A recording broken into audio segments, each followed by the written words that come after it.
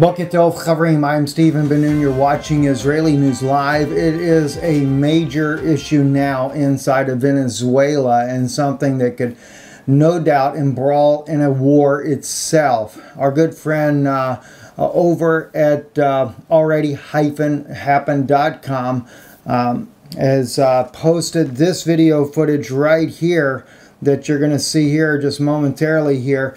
This is uh, Venezuelan uh, military tanks, howitzers uh, that are moving towards the border with Colombia.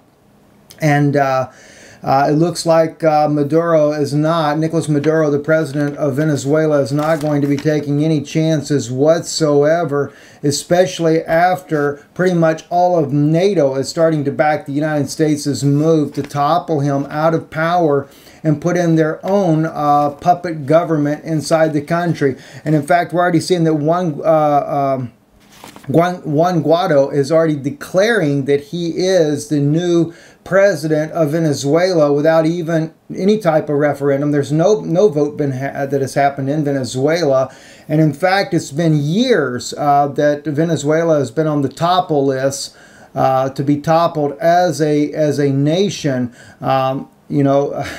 Uh, oh God, there's there's right there. That is uh, Juan Guaido right there. Uh, the picture there. He's there standing there declaring himself, swearing himself in. Imagine that, swearing himself in.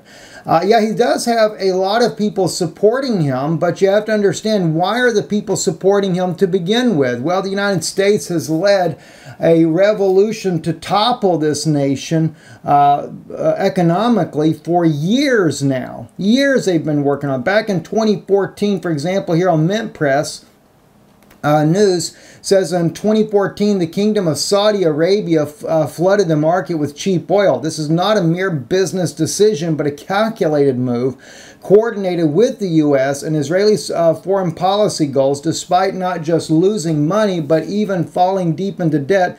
The Saudi monarchy continues to expand its oil production apparatus. The result has been driving the price of oil down from 110 a barrel to $28 in the early months of this year. Um, that's 2014, that is. The goal is to, to, weaken these opponents of Wall Street, London, and Tel Aviv, whose economies are centered around oil and natural gas exports. That might explain, too, why in Israel, uh, the Israeli government, uh, also being helped by the Chinese, building the pipeline, U.S. Uh, U.S. and uh, Israel building this pipeline, already putting it in, even though Russia and Turkey had been building their own pipeline.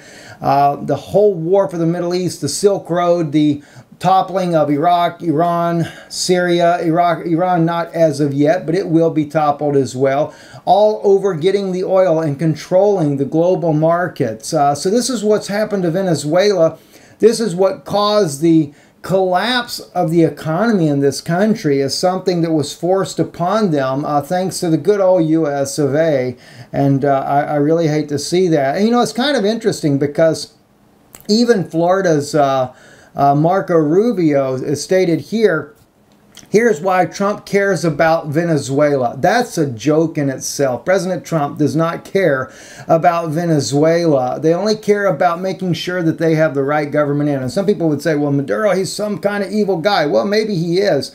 But I can certainly see the man trying to fight for his life when he sees uh, imperialistic nations trying to crush him down and crush his own people. And that's the only reason why the people are rallying around uh, Guaido is because they have been crushed and they want a reprieve. They have no, the people in Venezuela have no idea that they have been uh, cheated by the American people. And of course, Guaido is nothing but an American educated Jesuit puppet being placed into, the, into power.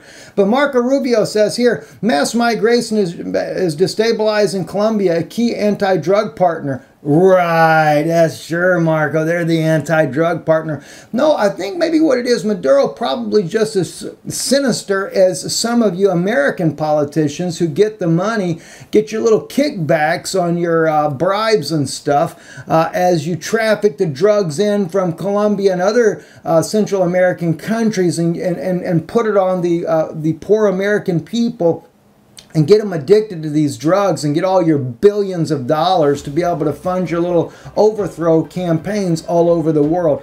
I know very much about that. Spent seven years, so I know exactly how the game works and who gets.